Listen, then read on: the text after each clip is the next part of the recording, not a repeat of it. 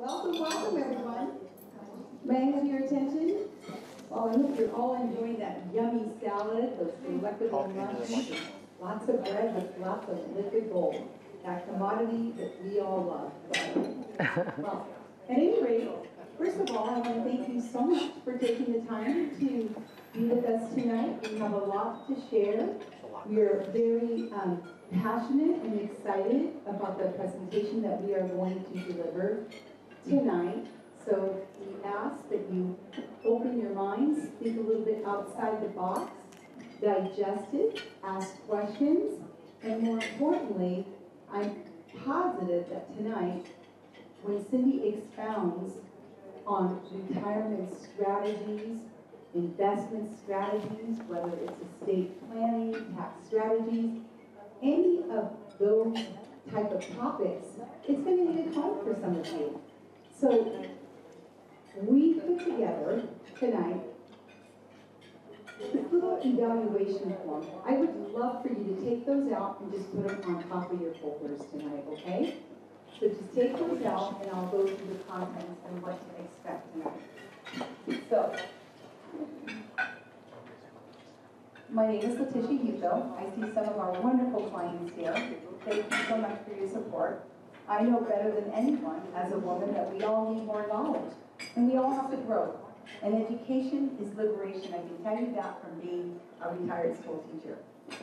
And I feel, because I went through a huge transition in my life, that no woman should ever be left behind. And you're entitled. It's your time. You're on the move. Keep going. You're here tonight. That's the catalyst to really empowering yourself, perhaps with knowledge, investment strategies that you thought about, that you read about, or heard about. Tonight's your night. Enjoy it, embrace it, and no question. Any question is a good question. So, if you open the contents of that folder, within the contents, we have what we do at our firm. Services at glance, we do everything. And we guide, and we guide with care, and we're mindful of our clients and what they're looking for, what they need. And that's what we do. We are driven to do what is in the best interest of every person that walks in our office. So there is a bio, a little bit about Cindy in here, if you'd like to get to know a little bit more about her. She is the founder of Synergy Financial. She employs many women and some men too. And she's an incredible mentor because I know as a woman, we all need mentors. Everybody needs guidance. And it doesn't matter, we all need guidance in our lives and we can always learn something new. So, she's a mass, she's from Michigan, she came here in her Grand Am. She was after her boyfriend and they got married, they have two children, hi Harry. And I say hi. She's a mom, she's a friend, she's an advisor, all women, and an author. She has authored two books. Our latest book, or Cindy's book, I have so much pride and I'm so proud of her, is The Rise of Women in Wealth. Get your coffee, ladies. This moved me to tears. It changed me, and I learned, I was a math educator and I love history, and I love the history of money because we have to understand how we got here. We're special, and it's our time, and you're special. And this book is here tonight for all of you.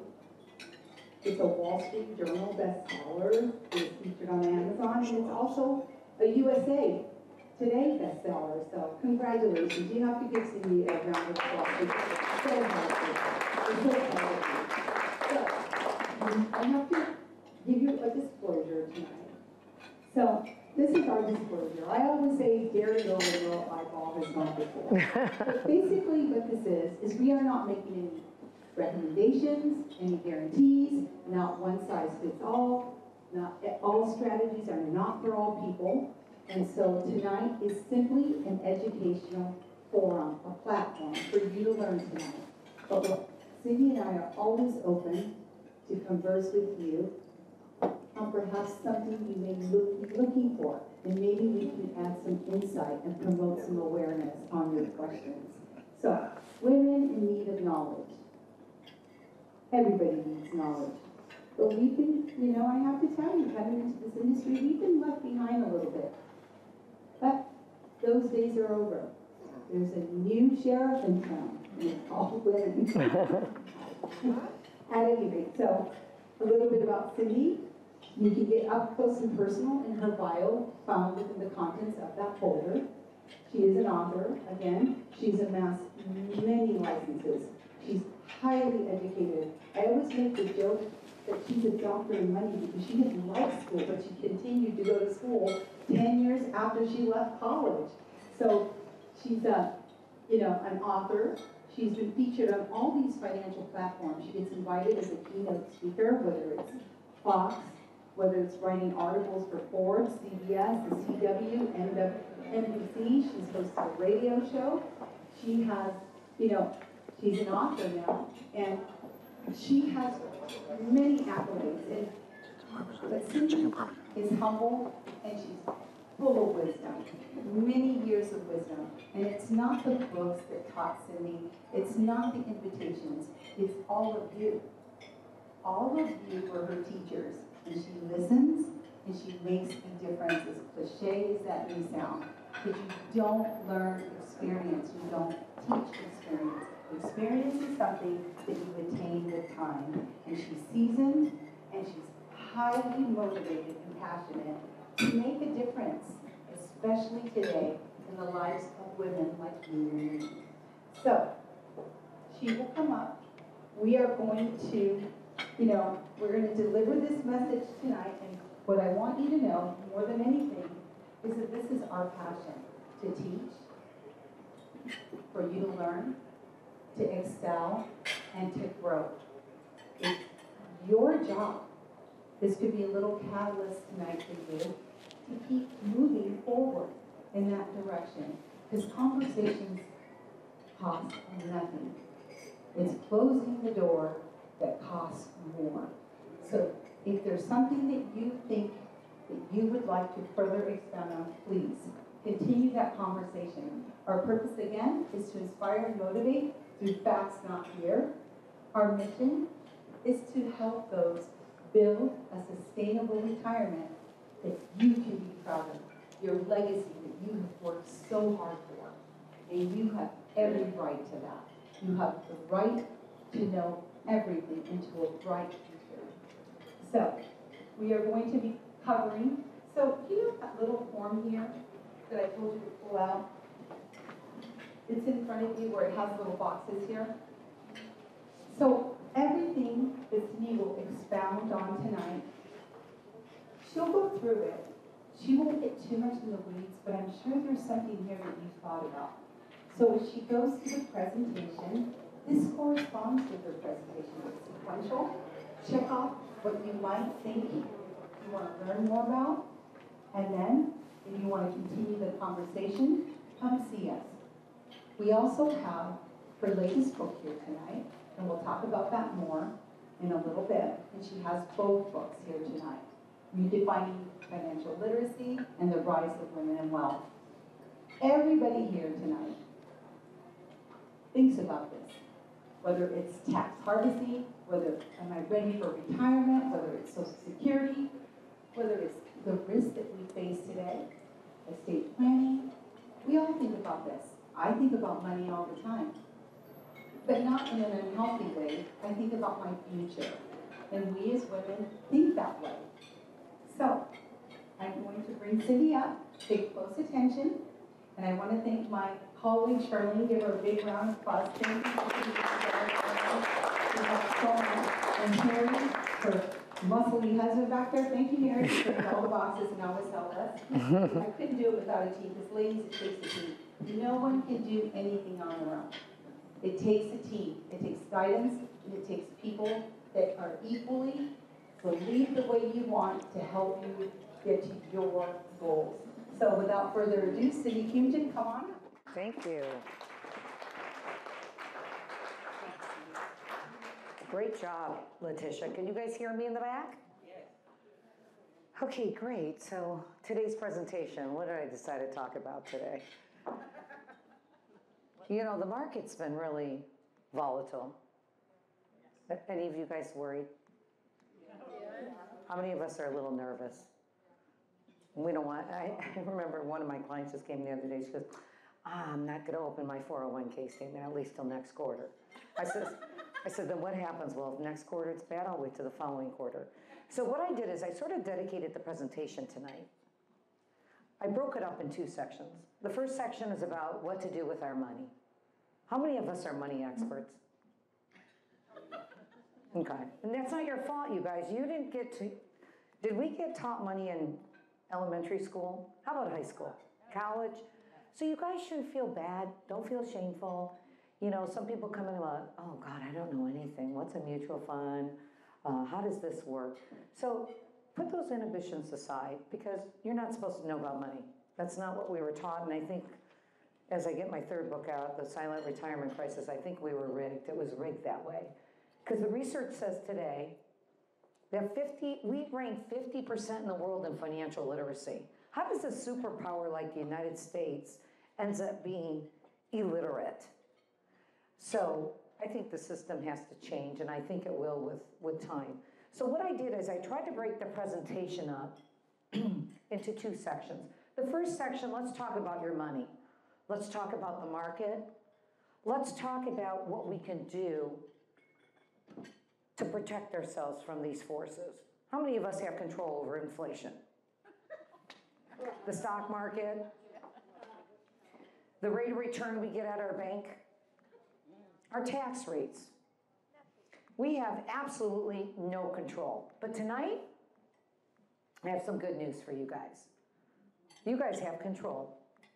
And the control you have is how you're going to invest your money and where you can put your money tonight to hedge you from these forces. Because these are scary forces.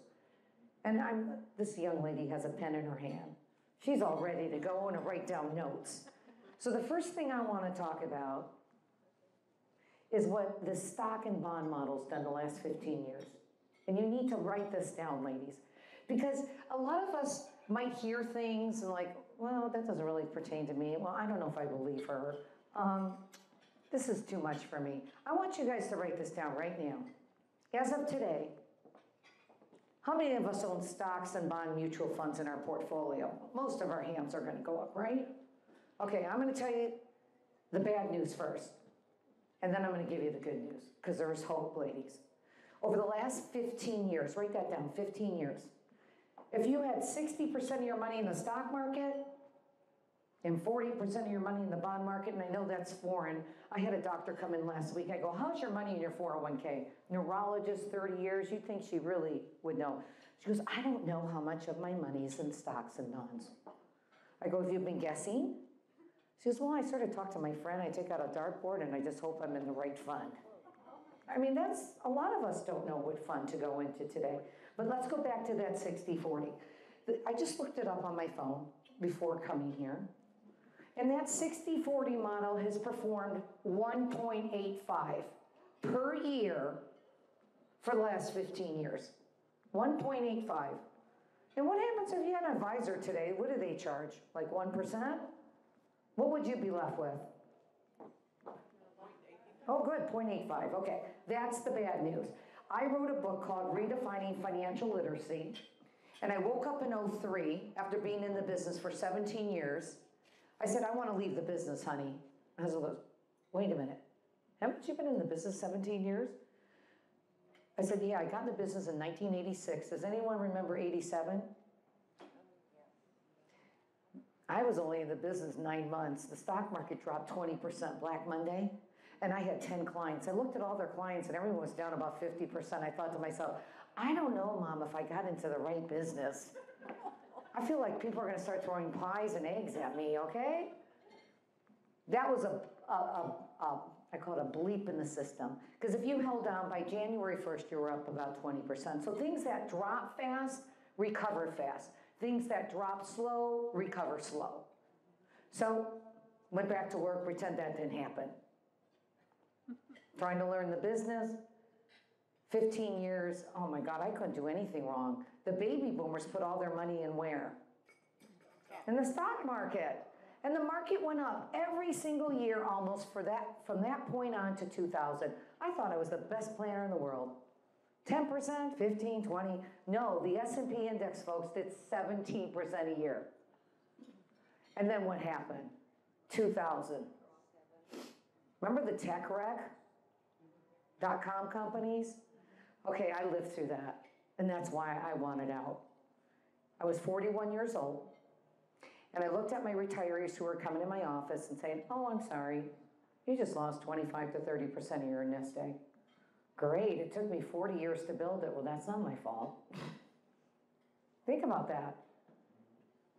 Uh, well, you're my planner. You're supposed to sustain me over my retirement. I said, Yeah, you're absolutely right. And by the way, you're taking out 5%, so now you're down 25. And I went home after I had that conversation with that client. I told my husband, I have zero value. Well, wait a minute, Cindy. You hated college, you were a 2.0, and you went and got eight security licenses and a CFP, and you've been studying every day for 15 years. And now you just want to, poof, leave the industry. I said, listen, I'll stay in the industry because the writing's on the wall. I think clients are going to run out of money. Can they all move in with us? I thought, oh, great, if they can move in with us, I'll stay in the business because I think people are going to run out of money. What I saw during the tech wreck 7,400 companies went bankrupt because companies were going public without a balance sheet, and you and I were buying that stuff because our banks were promoting it. And I thought to myself, that's either greed or fraud. I'm not sure what that is. But when it comes to my client's money, I'm not going to be held responsible. And I'm thinking about leaving the industry. And I write about that in my first book.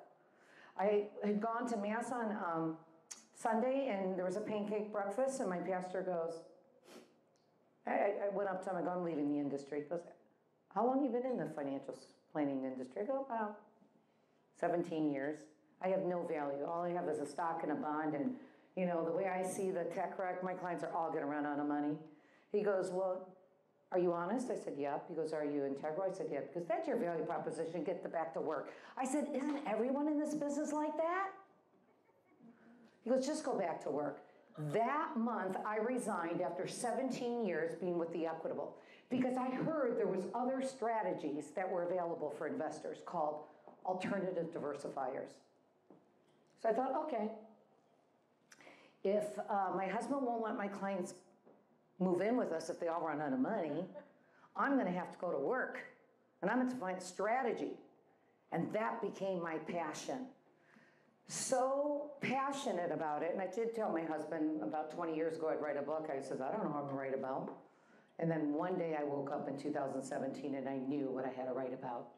Because it took me almost 20 years on a journey and if you want to hear about that journey, it's in my book, my first one, that I would start adding new asset classes to the portfolios. Because back then, and women, we all have it, use it. It's called intuition. Use it. Let knowledge embrace you. Let your intuition raise you. Okay? So I used my knowledge and I started to see things because it was like comparing A to B and B to C, and does this make sense? Is it suitable? Is it low risk? Is it what I really want for my clients? Because as a female financial planner, and if you were in my industry, you'd probably feel bad if you lost half your clients' money, huh? It's not an industry for women. I understand why women don't want to get in this business. It's a tough business. First of all, you're competing with one out of five of us are women and the rest are men, and they deal with money a little different. I tend to be more empathetic and I care about my clients. So when clients lose money, I feel bad, whether it's my fault or not. So I went on this journey, took me about 17 years. And one day, one of my sponsors came into my office and said, Cindy, I think you're doing what Yale's doing, a multi asset strategy. I said, Well, maybe so. He goes, No, read this book. It's called The Ivy Portfolio. Went home for the weekend, I read it, I thought, oh my God, I called Letitia, Tish, I think we're doing this, this multi-asset class strategy. She goes, well, what is it? I go, well, Yale, Yale does it. I read about it. She goes, are we doing it? I go, I think we are. So I go to the office on Monday, I go, pull my top hundred clients, Connie. How many asset classes are my clients in? I knew we were in real estate and credit and all this other stuff. She goes, you're in five. I said, oh my God, that's what David Swensen, who manages Yale. He, by the way, he was 41 years old. He got a PhD at Yale in finance. And he told the endowment, I want to manage the money here. And they're like, okay, David, you did good uh, with your PhD, but you have zero experience. He goes, did you read my PhD? My thesis? And they go, okay, what was your thesis about? He goes, I worked with Harry Markowitz, the, Mar- the uh, Nobel Peace Prize winner, and James Tobin, and they said that multi-asset classes are better than stocks and bonds. And I want to manage the endowment. He had one year with Merrill Lynch, and they go, well, let's make this decision. And Yale hired him. He was 41 years old. He sort of had that insight. As a man, men have intuition. So do women. But women are very keen. Yale hired him. He passed away last year. He was 67. He beat the S&P index, ladies and gentlemen, by 3% a year and a lot less risk. And guess how much income the Yale endowment took out each year? If you got a million bucks, 5% a year, and sustained the endowment and beat all the indexes. Well, little did I know as these products started to come online for people like you and me, I started incorporating them, and 20 years later, I had five asset classes. I still, even though I was in five asset classes, I thought to myself, hmm, is it really like Yale? So as I started writing my book in 2017, I went back, said, Connie, I got another chore for you to do. She said, oh, what you want me to do now? I want you to take five indexes and go back 20 years, and I want every single year's return, and I want to put 20% in each, and I want to know what the results are. Did it beat the S&P index or not? And I showed you that in my office, didn't I, Coletta? It beat the S&P index, and it was less risky. And then I put in these alternative diversifiers. You guys, this is exciting. The risk went down even more. So I thought to myself, bingo, I have a Someone said a secret sauce. It's not a secret sauce because it's customized. But ladies and gentlemen, that 60-40 model that I thought was broken 20 years ago is doomed. And in fact, the research says this, and that's the only bad news I'm giving you today, that over the next 10 years, that model is going to 100-year lows, and I'm going to tell you who broke it. You guys interested in that not really? A little history? I'm going to tell you who broke it. It's in my third book, but I'm going to give you a five-minute narrative of that. And then I'm going to tell you what you can do to hedge you, yourself from these forces that are coming at us because it's making us all go a little nutty. And I'm going to give you hope back into your retirement. I'm going to give you strategies back into your retirement. I'm going to give you income back in your retirement if you're open. Now you might say, well, she talks fast, she has blonde hair, and she's from Detroit. I'm not sure I can trust her. Oh, but listen, you know those books, most financial planners don't write books. You know why? I'm not allowed to have an opinion. I have a series seven. Everything that's quoted has to be research based. If you go to the back of those books, there's 600 sources in each book. And yes, I had to hire a PhD to do all the research for me because I'm not allowed to have an opinion. The regulators really want us to bring out facts and research based on a source. Does that make sense? Because they don't want me just making stuff up up here. So I want to tell you that everything that you're going to hear tonight is research-based.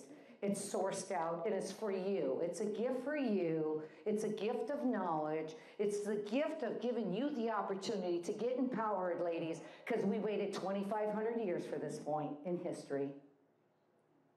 What do I mean by 2,500 years? Patriarchy started about 2,500 to 5,000 years ago. Men had the money and the education. We weren't allowed to read, we weren't allowed to write, and we certainly weren't allowed to have our first credit card till 1974. Okay? So we have been unfortunately suppressed. And it isn't weird how life works. Now, 2,500 years later, women, ready for this, ladies? You're going to control two thirds of the world wealth in the USA in 2030. How many years is that away? Eight. Eight? And we waited 2,500 years. Seven. Yeah, let's get our calculators out. Seven years away, ladies. And we are gonna, we right now have higher education academically, both in bachelor's and master's. So if the education that was taken away from us and the money was not given to us and you have it today, there's a revolution coming. And that's my second book. The financial revolution is coming. I was telling these nice ladies tonight that my first third of my career, I've had to get married quick, cause get a ring on, because it was like just men and wanting to take me out. I, I'm a financial planner. Let's go out. No, let's get married, honey. I gotta get a ring. I'm sick of that. Okay, so the first third of my career was really with men. The second third of my career, because I've been in the business 36 years now, was with men and women, but men would, women would come in and knit. Aren't you interested? Nah, my husband takes care of it. We build this Chinese wall. Nah, he'll do the money decisions for me. And then in the last, literally, from the time I start writing my second book, guess who comes through my front door now?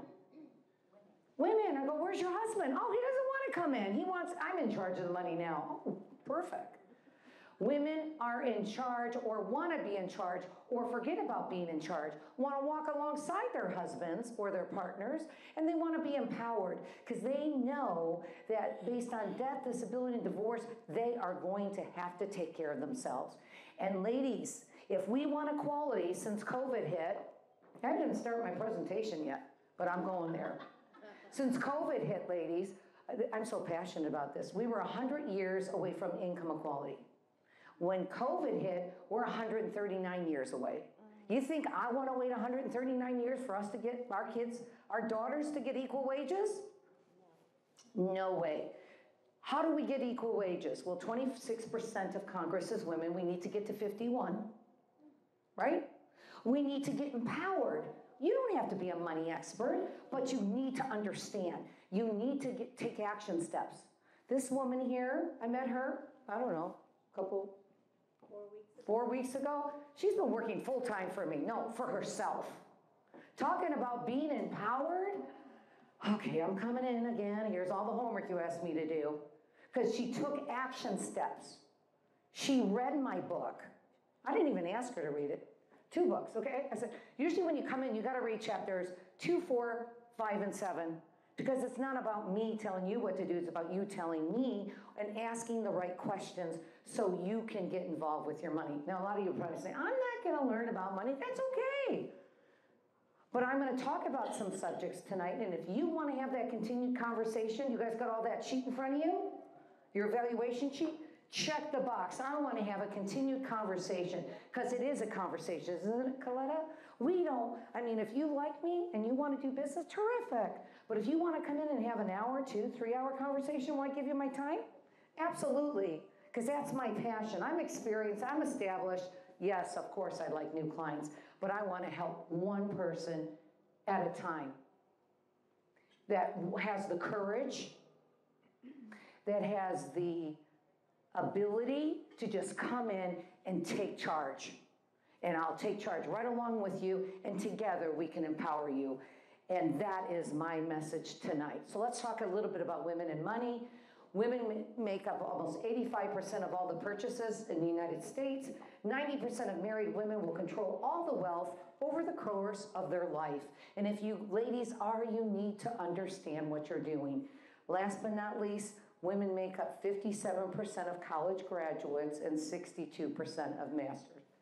35% of women are millionaires today, and ladies, two thirds of the wealth are going to be in your hands. And what are you going to do with that? It's moral responsibility. I know I'm motivated. I have two children. I use fear to motivate me to create a legacy for my loved ones. It's okay to have fear, okay? Because sometimes fear motivates us.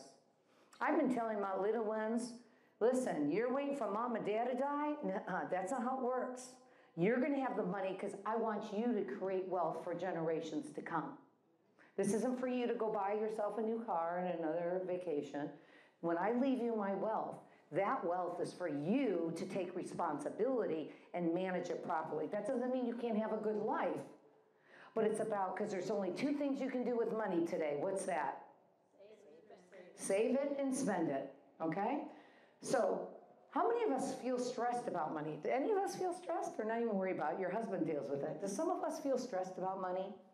Well, these are the statistics. More than two in five women feel money affects our mental health, both depression, insomnia, and anxiety. That's the research today. 58% of women, only half of us, worry about money a couple times a week. And with the way the markets are today, we might be worrying about money more than that. So, what's the solution? The research has been that 86% of women feel that their anxiety would go down if they had a mentor. I hate the word financial advisor, okay? But if you had someone who had some level of knowledge, and I was just talking to my graphic artist that was in my office this afternoon, and you know what I told him? I said, I told my kids about my money mistakes I made. I don't say that everything's nice. We live in a nice house. We have a nice car. No, I tell them what I did wrong, what I could have done better. Because that's our responsibility is to motivate and inspire generations to come. And it's, it's okay to talk about money with you and your children and the mistakes you made, because that's how your kids will learn. And sharing that is critical. So that's my feeling about women and money, and I'm here if I can help you in any which way. Um, I'm going to talk about five subjects today. I'm only going to give you one tip per subject. And if it inspires you that you want to sit down and have a conversation, come on in. We'd love to have one. And if you do have a conversation with Letitia and me, we will let you pick a book of your choice. Okay? Because we want to motivate. Everyone needs to be motivated. But I don't want to take credit. What's the word I want to say? I don't want to devalue that book. Each book cost me 250000 of my own money to write it. So I don't want you to think, oh, she's giving away a free book. That's a bunch of junk over there. It's not. It's my life. And it's for you, and it's a gift. And it's a gift of my knowledge and to help you, because I don't get any economic benefit if you guys just come in here, take my book, and leave. But that's what I'm here to do. That's my mission. I'm in the last quadrant of my life, right? Our first quadrant, our second quadrant, and our third quadrant. My third quadrant is to do whatever I can to touch as many lives as I can. I've been blessed. I've had a great life. I have two great kids. I have good health. So now I have to really focus on others and what I can do to help people out. So I'm going to talk about, see, I'm going to be talking about all three books today. I talked already about women, that's in my second book. Now, in my third book, I write about the silent retirement crisis because no one's talking about it, and I think we should have a conversation about it. I use the word controlled capitalism, and the reason I use that word is when it was controlled, people all shared in the wealth. The suppliers, the people. I know my parents were during the time it was called Fordism. Everyone could afford a car, send their kids to college, and live a comfortable retirement. That was called controlled capitalism. I think over the last 50 years, and you'll have to read my book next year, and you're all invited to my book signing, I just don't know when it's going to go pu- public. But I think we've been living through uncontrolled capitalism, where there's been an unequal distribution of wealth. And you guys know some of those guys who own that stuff, right? Eight men dominate 50% of the world's richest today. And one of those guys is Gates and Buffett and Bozo, no, Bezos, excuse me. Did I say Bozo? Bezos. I just threw that in, okay? and no one's talking about this kind of risk. So I want to talk about this kind of risk. Everyone knows, well, I got inflation risk and I got stock market risk and bond risk. You want to teach me two new risks. I want to plant in your mind two new risks today political and economic risk. And I'm going to break it down really simple. Economic risk is an, and let me know if you can relate to this is an economic ideology of profits over people. Have you felt that in the last 30 to 40 years? They've taken our jobs away, they've taken our pensions away, they haven't given us pay increases. Who was doing that? Well, the corporations want to blame the politicians. So you guys are all fighting who's a Republican, who's a Democrat, okay? But really, what's happening, and by the way, both Democrats and Republicans want decreased regulations. Because when you have less rules, like if, for instance, if I had my two kids and I'm like, hey, you live in the Cuban house, there's no rules, free for all. You kids could do what you want for the next 20 years. You can imagine what my kids would look like and be like. Okay? So we reduce the rules in this country from things like political campaign contributions, like lobbyists, like changing the monopoly rules. Things changed in the last 50 years, and it happened while we were sleeping. I always call it that. We woke up and said, Where's the money? I feel like I can't get ahead. I'm paying lots of taxes. It was free markets. We shifted the control away from the, believe it or not, away from the government. You think the politicians have all the control? It was shifted. Do you remember in the 70s? What was going on back then? Remember the oil crisis? How about the Vietnam War? How about the gold standard? How about Nixon? People thought the politicians were knuckleheads, which no different today. No, I'm just kidding. Um, so they shifted the control, and corporations start running our country. And guess what happened to our retirement system because of it? We all of a sudden Social Security is threatened. When is it supposed to go bankrupt? 2035 to 2032. That doesn't mean you're going to lose your social. Go, God, I go to this event. She tells me I'm losing my social. The 60-40s too. My God, what a great night. No. If you're getting social, will be reduced between 18 and 22 percent. How many of us get pensions today? Now we're going to give away gift cards. What percentage of Americans get, get a pension today? Because I'm losing some of you, so I want to wake you guys up. What percentage? 20. Well, no? No? Three percent. So what we used to depend on Social Security and pension, we can't depend on our pension. Social Security is going insolvent, and investors are going to run out of money. At least that's what they say. Forty percent of us, if you rely on, in my, this is an opinion, not quoted, if you rely on just having stocks and bonds in your portfolio. I think today more so than ever, macro financial literacy is critical, and if you don't know it, there's access to my books. And so what happens is when things go bad in corporate America, like Boeing, remember Boeing almost wanted to go bankrupt? They mismanage their balance sheets. When you have less rules, corporations in America start mismanaging what? Their money. And then all of a sudden they needed bailouts. How about the banks? Were the banks managing their money properly? No, Boeing wasn't. So all of a sudden, political risk kicks in. Do you know what political risk is? You guys have heard of the Federal Reserve, right? Okay. So the Federal Reserve kicks in and attempts to rescue the economy. Now think about that. The TARP money was never given back.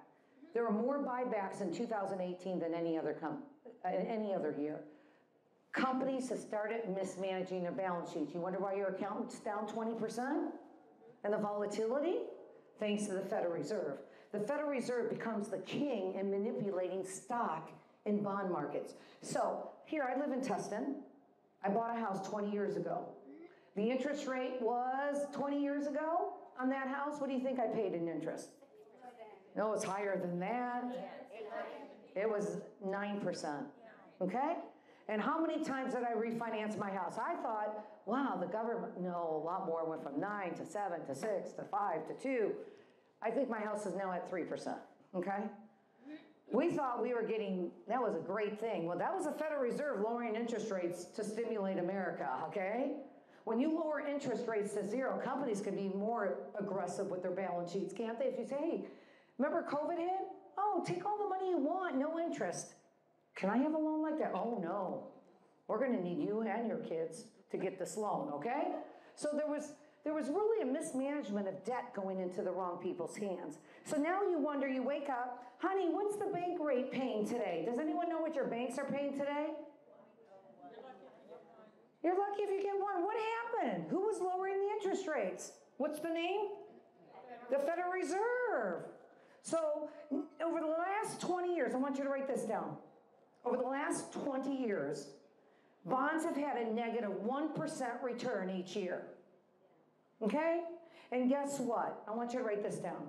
Since 1780, what we've experienced in the bond market is the worst crash in 250 years. Because interest rates went to zero during COVID, we know that. I mean, you may not know that, but your bank account certainly wasn't paying interest. As interest rates rose, bonds started to crash. And the problem is, is now you have this economic risk, which is corporations, profits over people, and political risk to bail everyone out.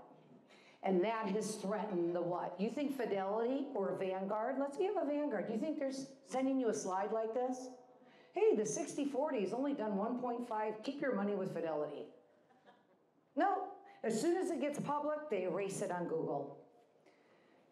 Markets have gotten more volatile. Okay, during COVID, what did the market lose in 10 business days? When Trump, we're not here to talk politics, but Trump went public and said we're shutting down the economy. That was on March 18th of 2020. In 10 business days, what did the Dow drop? She thinks 20. 30. Who? 30. 40%, but you guys weren't opening your statement, and so it wasn't month end yet. S&P was down 30 by the end of the month between the S&P and the Dow. And then we had the 2008 down 57, the tech crack down 44. Is stock markets getting less risky or more risky? Well, when you go pump $9 trillion in the market, isn't that what the feds did? And all that money, you thought we got all that money? That went to corporations who were ready to go bankrupt. Boeing was bailed out by the Fed, not by Trump, okay? So now you have these bubbles. And who would have thought that the market would crash this year? Of course we did. The market was up 50% the last two years. I remember I bought my home in Tustin in 2000 when my son was born. And by 2007, that thing went from 700 to 2.2 million dollars, up 25% a year. Think about that. Does real estate go up 25% a year? What's been the average real estate increases in Southern California the last 50 years? 7%. So when that when that house went up, I told my husband, honey, I'm walking up the front door. I said, oh, we better take the money out. He goes, what do you mean we're gonna take the money out? I said, if we don't take the money out, we're gonna lose it. He goes, well, how do you know that? Well, the mar- uh, we just made like a 200% return in seven years. We took the money out and bought the building where I'm working to this day. Same with the stock market. Market's up like, oh, people like, oh, I know how to manage my money. Oh, you do? Oh, yeah, I'm making money. Why am I? Don't need to talk to you. It's not time to rebalance. Market's up 60%. It's going to keep going up. So people are driving like this. They're looking at the past. What happens when you drive with your head like this? Okay. So you got to know what's happened in the past. You got to know what's going on today and what's going on in the future. Why? Because it's your money. And you want to do whatever you can to protect it. Lackluster returns, 1.85. Running out of money is real. If you guys own stocks, I don't want to hear that you lost money because there's places that we can help you make back your money. It's time to take something off the table because the S&P index has still done 14% a year the last 14 years. It's time to reallocate. It's time to learn. I just, no, you know what it is, ladies and gentlemen? It's time to have a conversation. It's time to stop just building a Chinese wall. Do you know we always grew up, boys are better in math than girls? There's no cognitive research that's true. That's all a myth. Do you know women are better managers than men? And women invest their money and are less emotional. See all these Chinese walls we built up against ourselves. So we, these are the things we have to deal with, and they're not going away. So what is the 60-40 model for the people who don't know what that is? Half your money's in stocks, half your money's in bonds, and most advisors, that's all they're selling today. Do you think they manage your bond and stock portfolio? No, they go, oh, I'm your financial planner, I'd like to have your money. I'm the expert. I'm going to put it over here in stocks and bonds, and they're going to rebalance it and watch it, and I'm going to get paid 1%. And as long as the account's going up, please don't call me. Okay? As soon as the account goes down, you're wondering why he's making more than you. And that's the reality. And if you're going to use stocks and bonds, ladies and gentlemen, you don't need an advisor. Go to Vanguard, go to Fidelity, they'll help you do it for free. Actually, Vanguard is not charging. They have a managed account, they call it. I go, what happened to your no load funds? Oh, yeah, we have no loads. So clients come in with two types of account. I have a managed account. I go, who's managing it? Oh, these nice guys at Vanguard. Hmm, okay. Then who, what's this unmanaged? Oh, this is what I manage. I said, they're about the same. What's the big deal? Oh, but he's such a nice man and he calls me, checks up on me, and everything's going good. Okay? So the point I'm trying to say is, I'm not suggesting you get out of stocks and bonds altogether, because these diversifiers, you can only put a small piece of your portfolio in, usually 20 to 40%. I'm saying diversify, and you can be in the stock market at, please don't leave after dinner. I'm giving you one investment tip, okay? And I'm going to do that right after dinner. And I'm gonna show you a vehicle that they'll pay you hundred and forty-five percent of the S and P index over the next six years. And if you lose money, they'll give you a ten percent protection. What do you think about that? I mean, those products are out there. That's why you have an advisor. So potential challenges, do you guys know stocks and bonds have moved together almost 70 to 80% of the time? Where's our diversification? Remember in 08, the 60-40 dropped 20 because bonds went up, stocks went down. But guess what's going on with bonds and stocks this year? They're both dropping to how? Uh, Together. That's why you guys don't want to open your statements. I don't blame you. It's scary out there right now. But don't, don't worry about what's happened today or over the next six months, eight months, nine months. Look at what you made the last 10 years and use that as a motivating factor. I always tell my client, can I get the 10 year return that you've earned in that account? You're up 8%, ma'am, over 10 years. Are you okay with that return? No, I want to make more. That is a reason to maybe consider a reallocation. Why others may not have been that uh, lucky. One last thing I want to bring up, and I'm done with this section. No questions? Okay, great, I'll keep moving. So the safe withdrawal rates, you guys, you know, a lot of you are saving money, you're trying to get to that retirement date. A lot of you may not retire, but you're trying to get to a date that you can sustain yourself, right? I'm gonna use a, a number of a million bucks. You sit down with your advisor, what's a safe withdrawal rate? Well, the research says you can take out four percent, it's based on a mathematical model. And there's a ninety percent chance you're not gonna run out of money. But today, the new withdrawal rates are what? 3.3, they were 2.8. And if the 60-40 continues to perform bad the next decade, that could be to 2%. So instead of, what's a million dollars times 2%? It's about 20,000 a year, 5% is 50. That sounds much better. We'll show you how to get there. So the realm model. The realm stands for the retail endowment allocated like model, and I did trademark it. They didn't want to give it to me. They go, this is like Yale. I go, but I didn't copy it. I wanted to create a name for a, program that was like Yale, but it was different. It wasn't identical. And the realm model, thanks to Letitia Hugo, we were having coffee, my business partner at Whole Foods. I go, I need a name for this model. She goes, Realm. She's a she's a wizard. I call her a genius in words because her phone beeps and she studies words every day. I'm like, that's crazy. She goes, Do you know what the word realm means? I said, No. She goes, It's a special kind of knowledge. I go, Can now make the acronym into a name. So we called it the Retail Endowment Allocated Like Model. I got it trademarked when I finally had done all my research on if I was actually doing this type of planning. So what encompasses realm? How many asset classes are up there? Instead of two, you're in what? That's easy. It's not that complicated, but how long did it take you to sign all your forms today, Coletta? Two hours. Okay? Because we customize it, we build it one strategy at a time. So you got stocks and bonds in there. You know why we call that passive? Buy and hold. Don't do anything.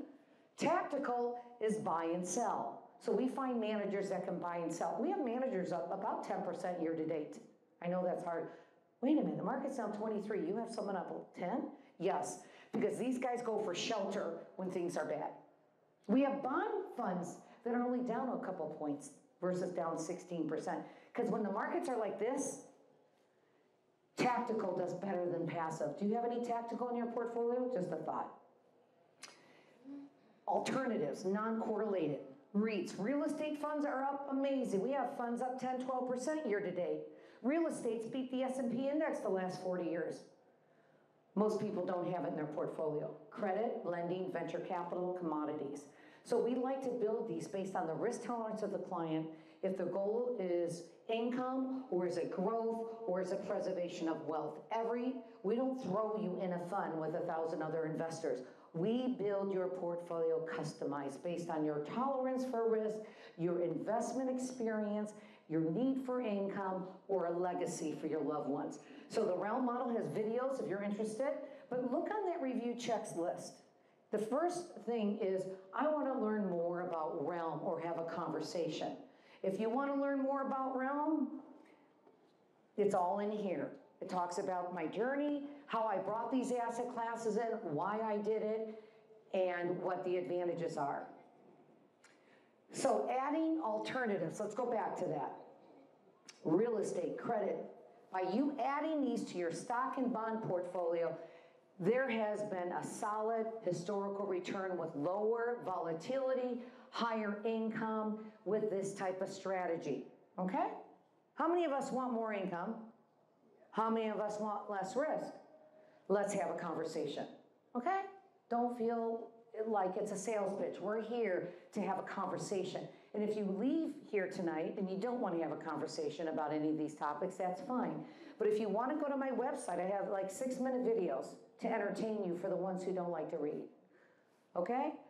Um, so let's just talk about two of those. And I actually thought to myself, am I going to talk about seven asset classes in my first book? Most people don't know what stocks and bonds are. So I decided to break it into two buckets real estate and credit. That doesn't mean single family home. When I use the word real estate, I use commercial. Does that make sense? Um, but we're going to first talk about private credit. When I use the word credit, think about lending, bonds, okay? Fidelity, everyone has heard that name, right? High yield has a bond fund there that pays maybe 4% today, but you can get the money out in one day, right? Daily liquidity. The reason alternatives have worked so well is because you can't touch it to the end of the quarter. Are you okay letting the money sit there for a couple months? Well, some of our credit funds are up year to date. 1% why the bond market's down 16 because you don't have the ability to liquidate that fund today. And how many of us in our IRAs need to liquidate all our money tomorrow? Most of us don't, okay? So I, I want to tell you that private credit has done about 9% yields. Our yields on private credit are ranging between 5 and 8% today. That's true.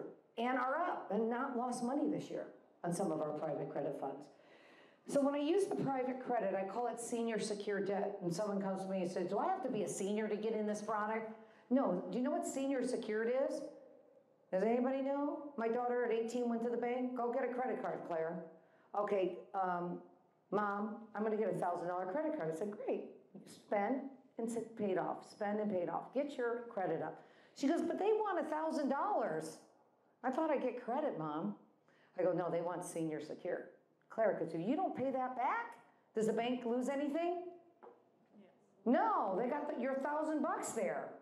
So she goes and gets a credit card for a thousand. They want a thousand dollars. Now you can have a credit card. Mom, do you have a thousand dollars you can give the bank? Yes. so think about private credit. Two things.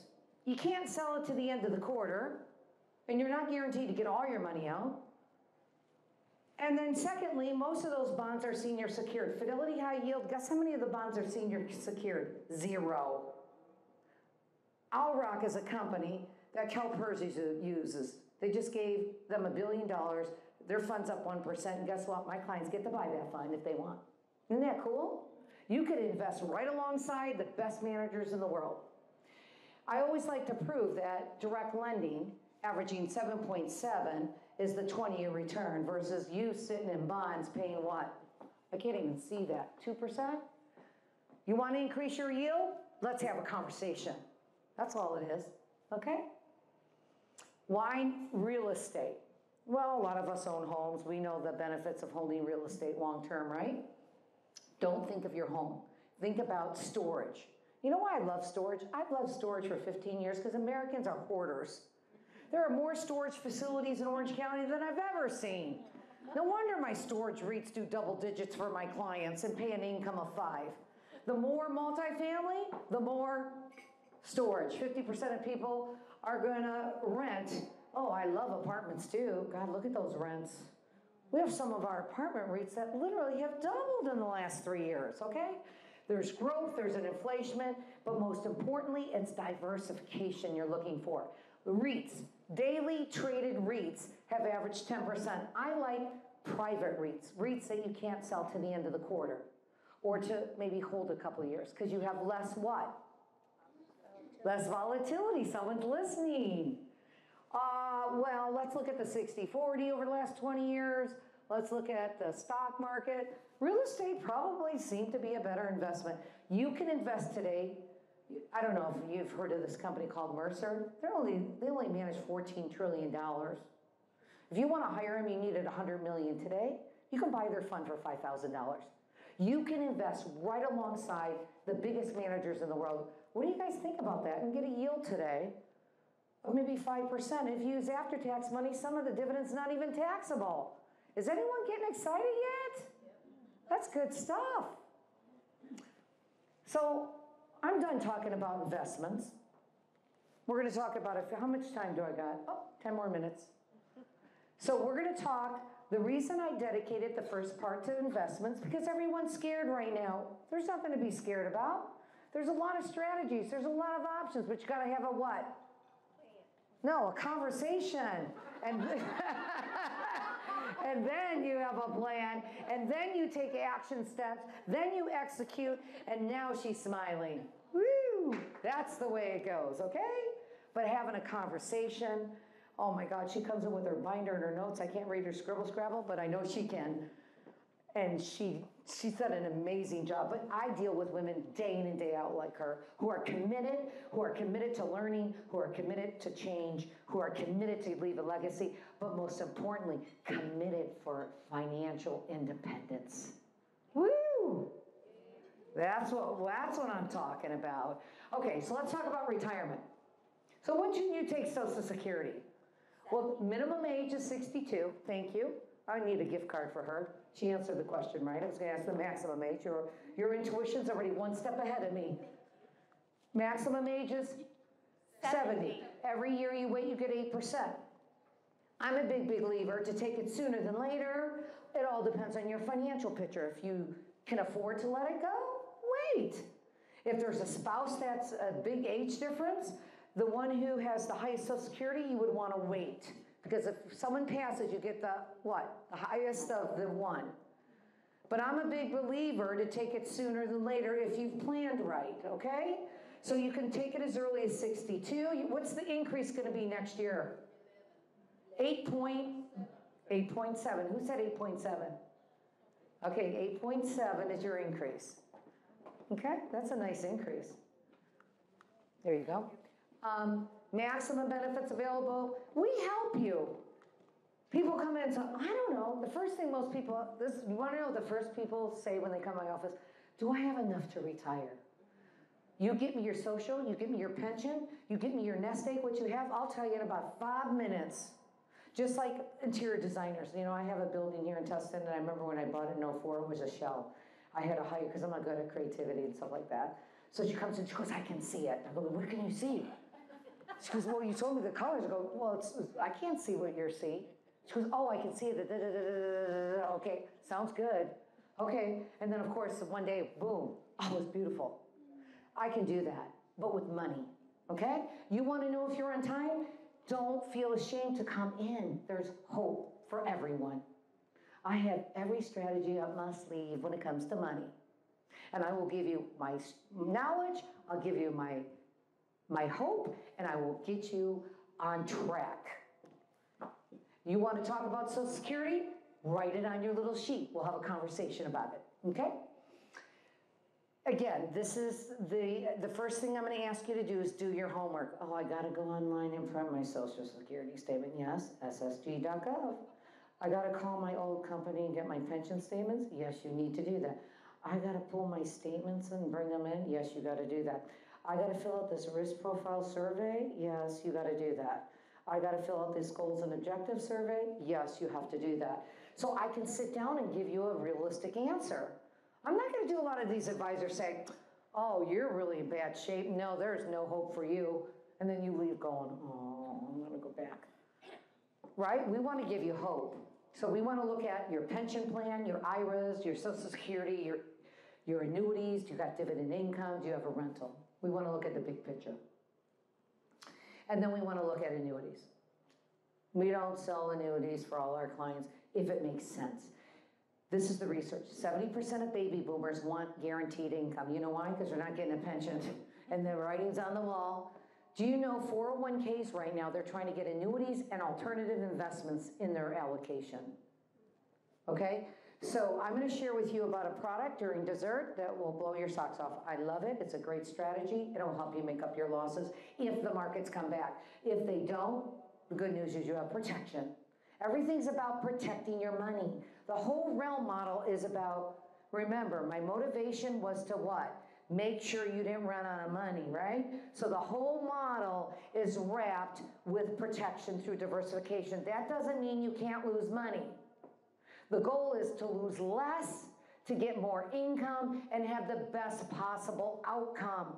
Because none of us have made perfect money decisions, and even the person as educated as I am have not always made good money decisions because I have emotions just like you. And if we have emotions when it comes to money, that's when we need to have a mentor and a coach and someone to hear what we have to say. Okay? Any questions on retirement? We can help you calculate if you're on time. And let's say you don't even want to know if you're on time. You just want to know when can you retire? How much income does it look like? Because people are nervous because they're scared they don't have enough income. We look at your taxes. How many of us want to pay more taxes? No, we want to pay less taxes. So we need to use ta- I'm not a CPA.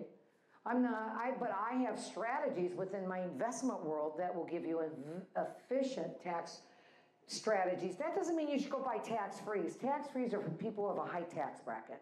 It sounds appealing, but it may not be right. We had someone come in the office that pays no taxes and had her whole portfolio in tax frees, just because it sounded enticing. So tax frees are there. We use Roth conversions. If you have an IRA and you don't have much income, start converting that thing so you don't have to pay taxes. Because remember, Roths grow tax deferred, tax free. You can take the income tax free and you can leave it for your loved ones tax free. So let's have a conversation if you have IRAs and Roths. Uh, tax deferred are for plans at work or annuities, and taxable is just you pay taxes as you go along. And a lot of us this year is going to get a phantom tax, which is it's not nice. You put a hundred thousand dollar mutual fund, let's say in January, and it's worth today eighty. Those managers sold stocks, so who has to pay the tax on those stocks to get you to eighty? You do. It's called a phantom tax. Some people are going to get huge capital gains this year and say, well, wait a minute. I didn't make money. What am I getting this capital gain for? Okay? So we look at those taxable instruments and go from there. Risk. I'm only talking about one risk today long term care. 70% of us will need it. You need to really look at it. And I know a lot of you are saying, I can't afford it. It's gotten too expensive. You're absolutely right. But there are programs out there that will let you buy insurance through life insurance and long term care, keep your premiums down, and potentially get that thing paid up in a few years. Okay? So 70% of retirees will need it. It's great if you saved all this money and you get to retirement, then you get sick, and Medicare is not going to pay the bill. That means you need skilled nursing if you need uh, long term care. The, the, your Medicare will pay for long term care the first 90 days. But that means you need doctor's orders and a skilled nurse. Anything outside of that, like my parents live in assisted care in Detroit and Rochester, they pay to have someone help them cook, to make their meals, to clean their room, and to have different activities where they're living. Um, again, if my mother has, you know, she's been, you know, slowly losing a little bit, uh, potentially having dementia, she might need extra care. That's extra. Okay, so you got to know that you have that extra. Because if one of you gets sick and the other one's well and you don't have insurance, guess where all your retirement income's going? Okay, so you want to protect that risk like you do your car, your car insurance, your home insurance, and now it's time to protect your retirement. And if you have an estate, you should have an umbrella policy because if you drive out of here and get in an accident, I know it's not your fault, but it's dark out there, and how many times have we all had close calls? The attorneys come after all your personal assets. So you want to make sure that you have an umbrella policy equivalent to what the value of your assets are, including your home equity. You can get that from your local insurance broker who does your car and your home. Last but not least, to end this, I got about another minute. Why do we need estate planning? Because if you don't have a will and the trust, the state of California has one for you, and you may not like your beneficiaries. So, please, if you, if you own a home in California, you should potentially have a trust, so the trust tells your executor who to give the money to. And if you have a trust, make sure you have a checking account with your trust name in it. We had a client who lost her father, the two girls sold the house, and then there's no trust account. Escrow would not send it to them. So have a trust checking account, even if you have $100 in there. Don't put your IRAs in the trust most of the time. Put a beneficiary on your IRS because the new law says that beneficiary has 10 years to take it all out and pay the tax. If you're married, it gets rolled into your spouse's IRA. If you're single and the person you're leaving it to is older than 10 years, they must take it out over 10 years. If you have the trust as the beneficiary, oh, my attorney told me to put my IRA in the trust, that's all taxable in that year. Trust should be in your home. I even like your bank accounts in a TOD account, transfer on death. You don't even have to put it in the trust name. Okay? But make sure all your assets have primary and contingent beneficiaries. That means primary is the first one that goes to if you pass. But if you both pass, you and the primary, you have a what? A secondary, a contingent. As long as you have beneficiaries on all your assets, you'll never have to deal with probate. Okay? And it's worth having a trust just because you may want a power of attorney to be a different person, your healthcare directive may be a different person, your executor may be a different person, and maybe your trustee. Okay? So there's a couple decisions you need to have, and a lot of people are like, oh, I'm not gonna do, I'm not gonna do my trust. Oh, okay. You know, some of us don't wanna deal with thinking about our own demise, that we don't do planning. And, I mean, who's that rock star who died a couple years ago with the purple heart, What- what's his? Yeah, Prince. Doesn't he have a song called Purple Heart? Oh, well, whatever. So he died with, a- can you imagine all the girlfriends that came out of the woodwork? I think his sister finally got the money. Marilyn Monroe was another one. I remember when I moved out here in 87, I worked on Main Street, and they were talking about, um, who's the Western guy, with, uh, John Wayne? Oh, yeah, his whole estate was, I remember because I was working in the building where his attorneys were, and they go, he doesn't have much money left. I go, what's happened? The beneficiaries were still fighting 10 years later because he didn't have proper estate planning. Marilyn Monroe didn't have a trust, neither Princess Diana. She paid so much in estate tax planning because she didn't protect her estate. So there's a lot of strategies. You think the rich all have advisors, that's not necessarily true, okay? So let's talk about that. Again, the will, the living trust, the probate. You guys made it. What do you think? Woo! Give yourselves a round of applause. Wow, that was a lot of information in an hour. So Letitia's going to come up, and then I'll be back right before dessert. And yes, we're having some delectable desserts, so don't leave. Thank you, Cindy. Wasn't she great? Thank you. Yeah, Cindy. thank you. You're welcome.